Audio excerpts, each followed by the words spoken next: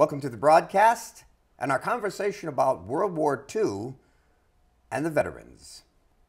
It, it's a tough question, and, and I, you know that's I've, I've been here 18 years now, um, and just as a very broad generalization, I think Americans are very forward-looking people, which is a in many ways a great thing. A dialogue on World War II and the vets next.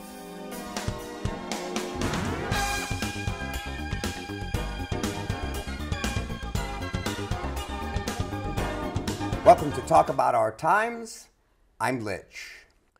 Dr. Pierre Faber is here, originally from Johannesburg, South Africa. Dr. Faber and his wife, then Dr. Margaret McCutcheon, met as members of the track and field teams at Oxford University. Dr. Margaret graduated from New York University and received her master's and PhD degrees in cultural anthropology from Oxford.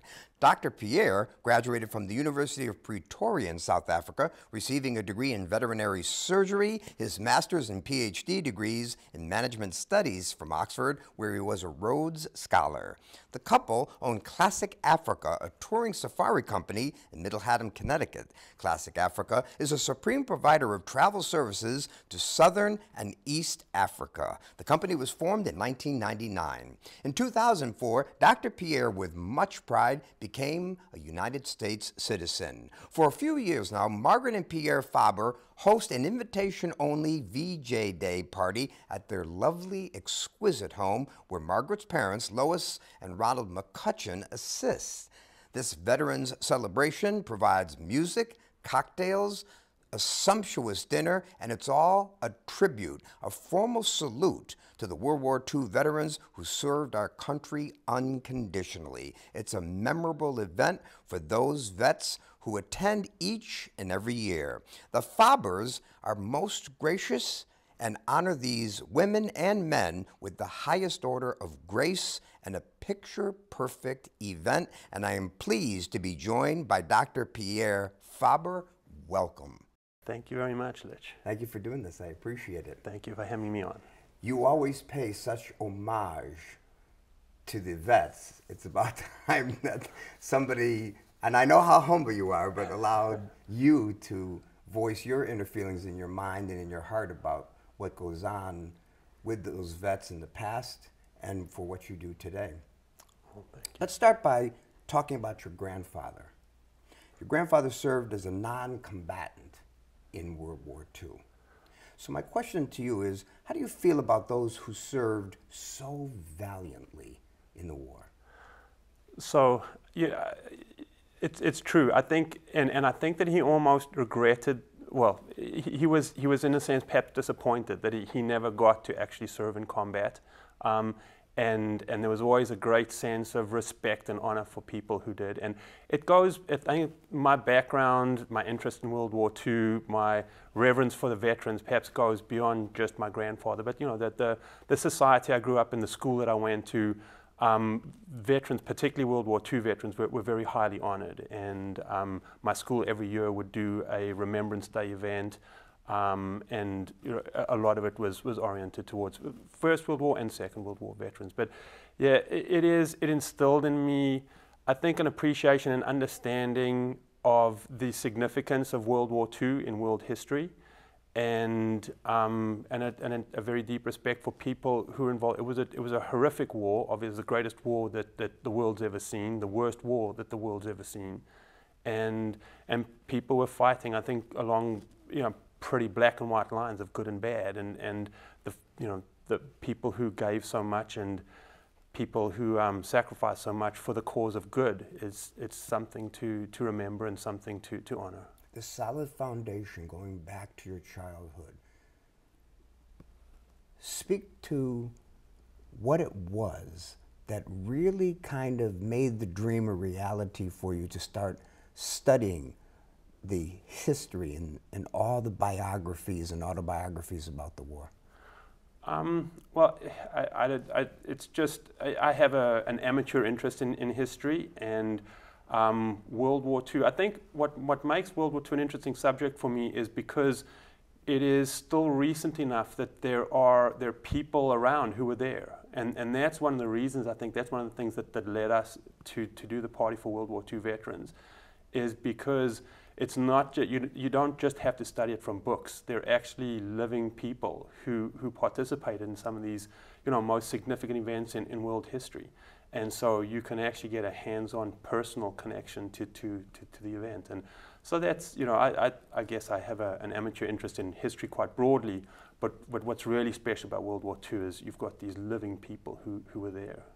Now, I know there's probably a reservoir of just uh, surreal stories that you've heard from all of these vets.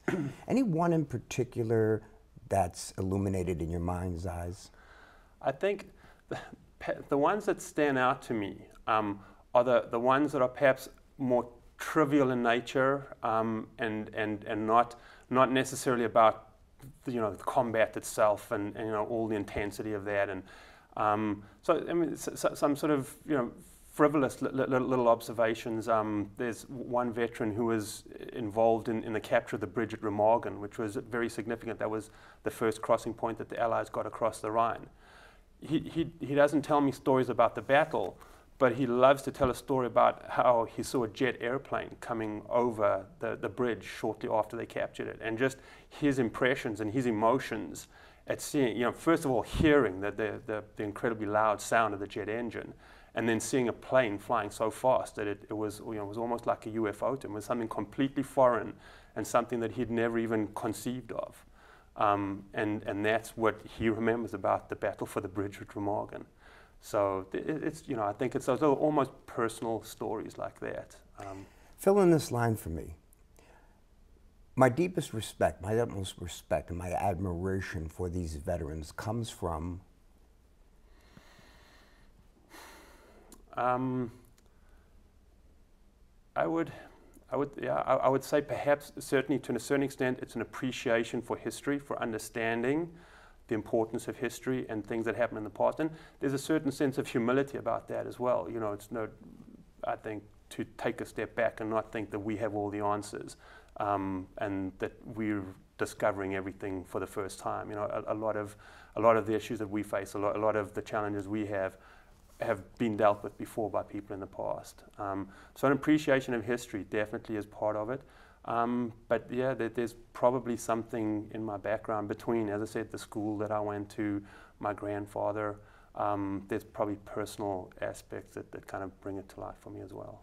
Now, we're going to speak about your specific August event a little later on. But first, I want to ask you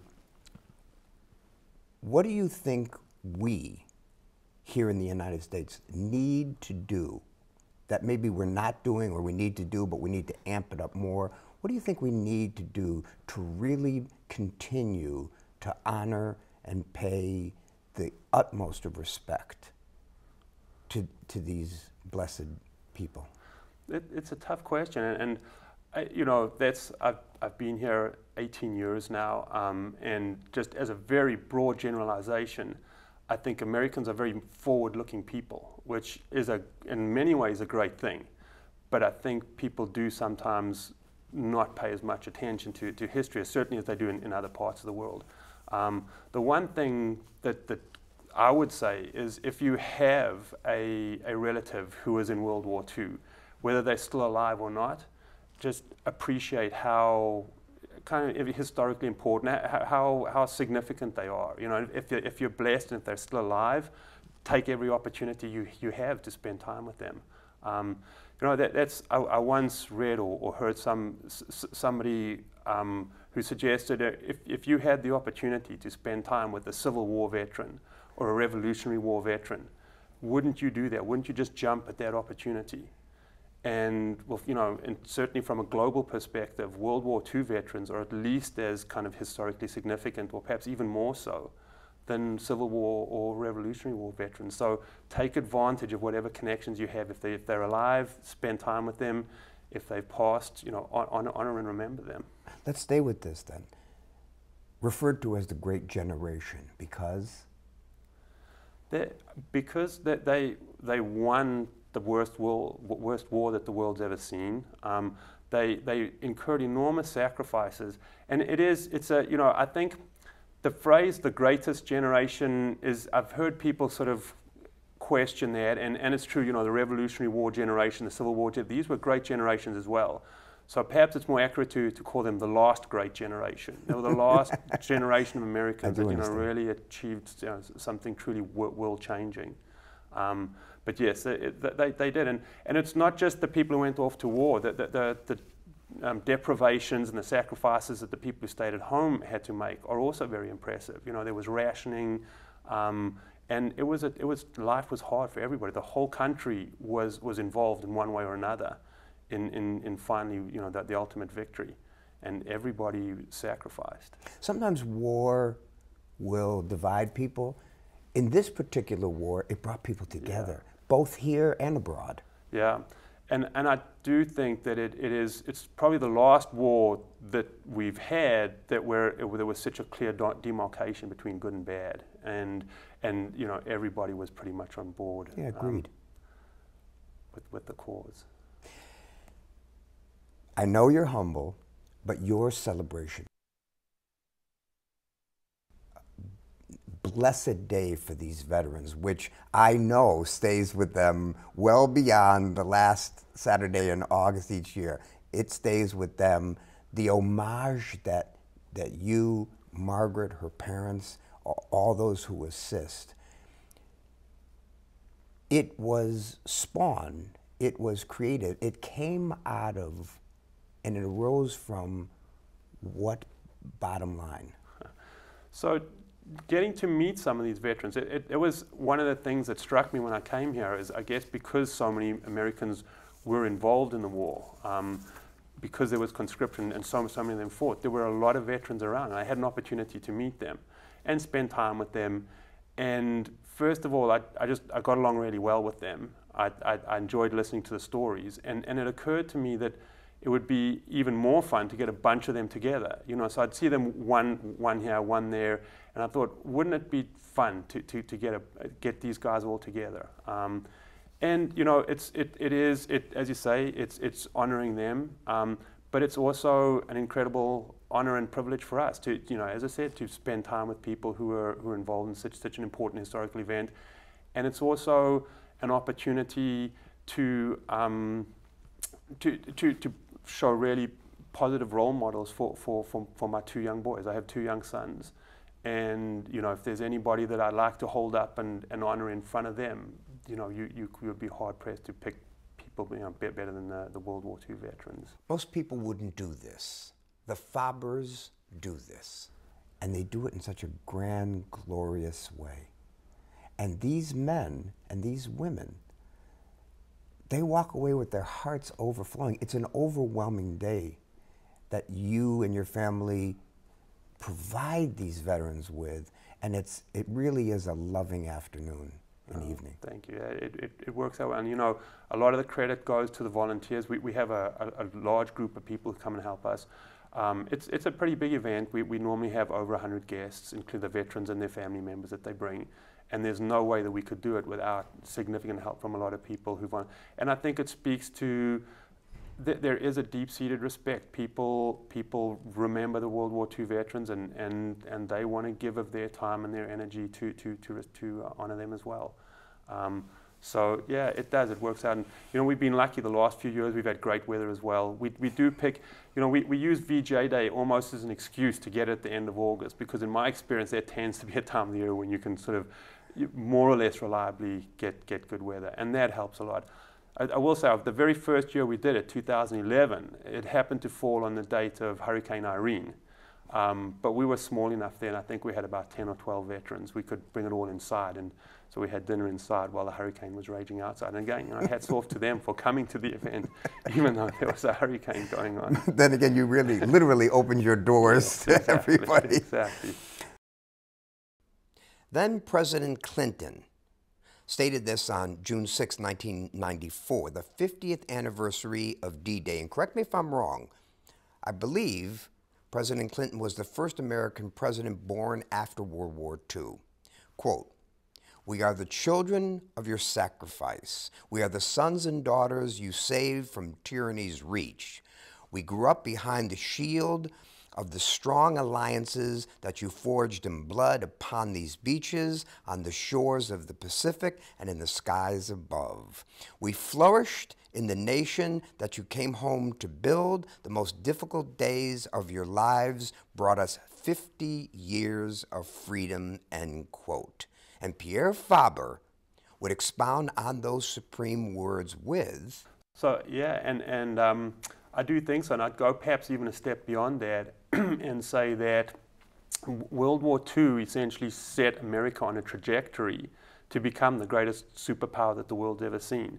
Um, you know, prior to World War II, the, the, the, the, center of power still pretty much lay in Europe. Um, but after World War II, that, that shifted very much to, towards the USA. And, and we are, to a large extent, living on not just the freedom, but the prosperity that that uh, that the victory in, in, World War II, that you know that, that the World War II generation bought for us through their hard work, sacrifice, and and blood, as as he says. So, yes, it, it's it's worth taking a step back and realizing that, that a lot of what we have is in large measure thanks to what they did.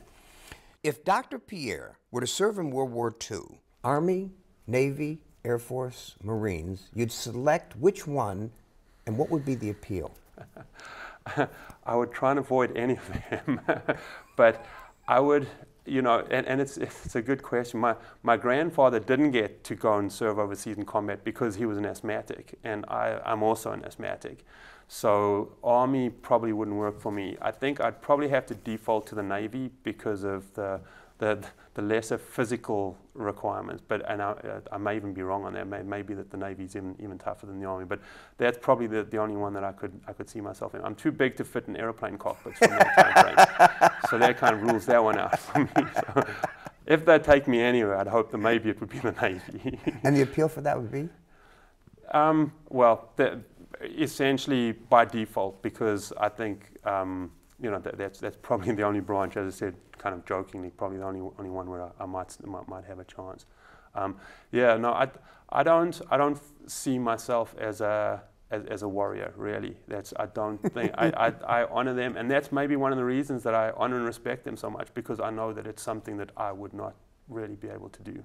I don't want you to necessarily focus or channel in on somebody from the United States. If so, if it is, so be it. But which of the generals do you have probably the most respect for in World War II? Yeah, that, that is a good question. Um, and, you know, I don't, perhaps to play devil's advocate, um, I, you know, perhaps, perhaps Rommel, perhaps Erwin Rommel of the German army, because he was, he was one officer, one high ranking German officer who stood out for his refusal to accept Hitler's orders to, to, to you know, uh, round up Jews or, or, or, or you know, um, be involved in the extermination. He was involved in the plot to assassinate Hitler. He was, he kind of stands out as somebody who stood by his principles and, and he tried, and I'm sure that he had failings, but he tried to do right in, in the face of some very, very unpleasant um, prospects for, for, for um, retribution. So yeah, I, I, think perhaps for, for, for, standing up as best he could to evil, uh, I might go with Rommel. It is quite interesting to me that you pick Rommel because as we were talking before the broadcast, before we sat down, you know, I, I had told you that I was with uh, retired Colonel, Lieutenant Colonel Charles Alex this morning, and I asked him that same question. He said Rommel. Yeah. Tactical. That's yeah. very, very, very, and he was the one who had tremendous respect for Patton. Yes. Yes, uh, well, I, I, think all, all the German officers, and that's one of the reasons I think D-Day was so successful, was because the, the Allies used Patton as a decoy, and they, they set up a whole fake army group that was going to attack across at Calais, and the Germans went along with that because they, they couldn't conceive that America would not use Patton to, to attack the mainland. And so they sort of positioned their most impressive forces against where they thought Patton was going to be landing, leaving Normandy pretty much largely uh, you know, uh, defended by, by their, their, their less good troops. Many people think that sometimes Patton colored outside the line, stepped, stepped over his boundary lines. Some respect it, some don't. Dr. Pierre thinks. Yeah, I, I I personally, not having known him and just from my kind of superficial research, I think Patton was a great general. I think he was that by the, the, the Allies' best general. Um, he did some controversial things, um, but as, for his military ability, his, his military brain, and his drive, his energy, in, in, a, in a military context, he was absolutely brilliant. I think politically, he was not as, you know, that's where his downfall came, was he didn't have the political savvy to go with it. Um, but militarily, he was brilliant.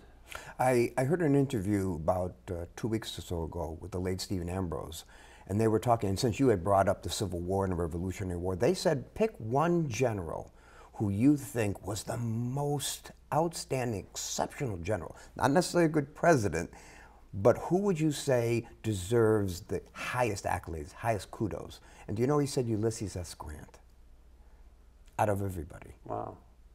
Wow, that, yeah, that is interesting. I mean, it, it each war had different demands and different requirements from, from generals. Um, but I mean, the Civil War was really tough because you're fighting your own people. You know, that, yeah. that's got to be an especially difficult task as a general to wage war on your own people. So yeah, that I could see. I mean, I can see. And that. in that interview I heard with Stephen Ambrose, he even said that his autobiography was quite, quite uh, interesting to read. Again, not necessarily a great president, but but in terms of a statistician, in terms of tactical abilities in, in the military, he, he picked Ulysses S. Grant. Yeah. I want to go back to the fact that you had mentioned you would have served in the Navy. Let's, let's kind of put that to the side as a sidebar and say if you had to serve, and again, it doesn't necessarily have to be the United States. If it is, so be it. But if you had to serve in World War II, which of the generals or field marshals would you have wanted to serve under? Hmm that's of so speaking to the, the, the, veterans, everybody who had anything to do with Patton absolutely adored him. He, he was clearly a very charismatic leader, and and um, and, and people people loved being part of his his, his army. Um, I, MacArthur again is kind of a controversial figure. Um, but given that I'm sort of heading in the direction of the Pacific Theatre, I, I think that, I, and you know, again, his drive, his, his determination to recapture the Philippines, I, I think uh, that's a leader I probably could have followed. Yeah, interesting. and on the German side? Whew, on the German side, again, you know, the, the, the, only, the only German general for, for whom really one can have any kind of sympathetic feelings was, is probably Rommel because of, you know, the way he, von Manstein was brilliant. I think he was sort of in, in the early days in the Eastern oh, Front, yeah. um, an absolutely brilliant military general. But again, you know, you, you've got all the baggage of, of, of the Holocaust that goes with that, so. Your roots in South Africa. Tell me your thoughts, both as a, as a, as a gentleman and as a military man of Field Marshal Smuts?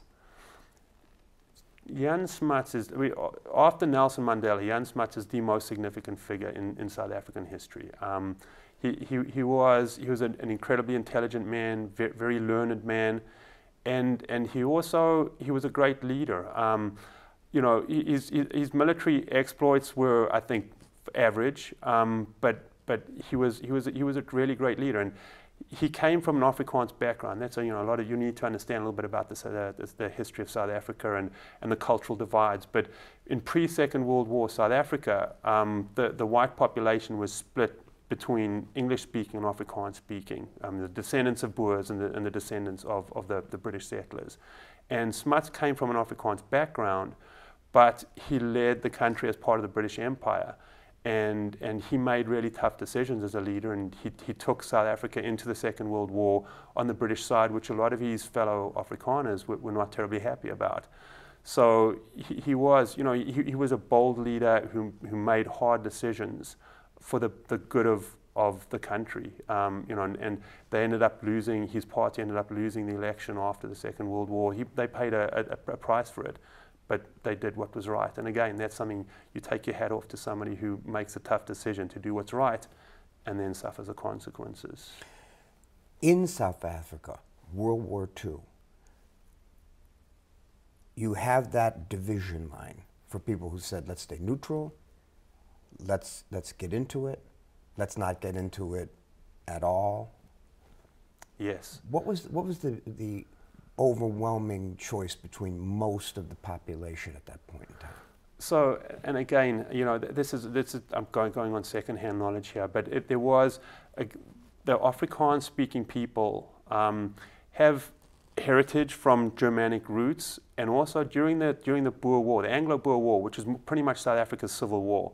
Germany had been very supportive of, of the Boers, of, of the, the, the, the, the what were to become the Afrikaners.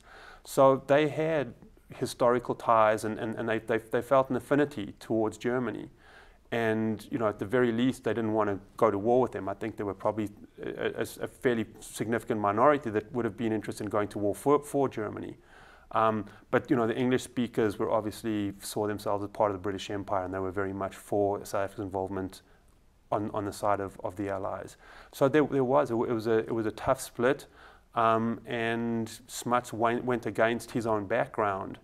Um, and did what he thought was right for the country, not just for his segment of the country. When Germany goes into North Africa, smart move as he was deciding to take over all of Europe, and was that a smart move uh, from your focal point? Smart yeah. move for Hitler to take to start moving into North Africa or not?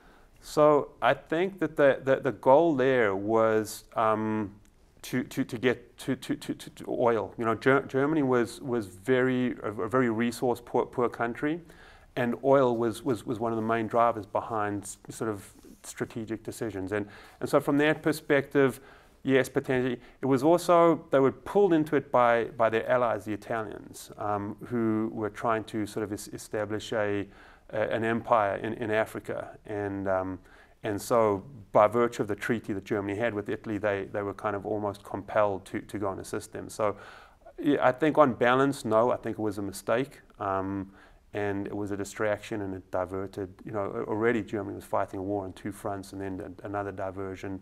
I think they spread themselves very thin in the end. Lastly, Pierre, with the 90 seconds we have remaining, when do you stop learning? Never. You're, you're always evolving, you're always maturating, you're always learning as you learn the history of World War II, still magical for you? Yes. Yeah, yeah, yeah, yes. I mean, th th and there's still a lot of scholarly work coming out about it. There's, there's new documents being found. That's remember that a lot of the um, documentation, a lot of the history of World War II was top secret, and, and it's only kind of slowly but surely being being released into the public domain.